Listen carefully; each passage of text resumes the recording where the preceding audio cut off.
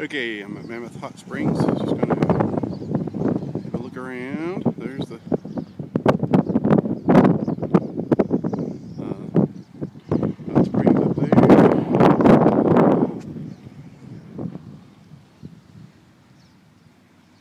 So, yes, I was going uh, from uh, Paradise Valley back to Billings. Decided to go through the northern part of uh, Yellowstone.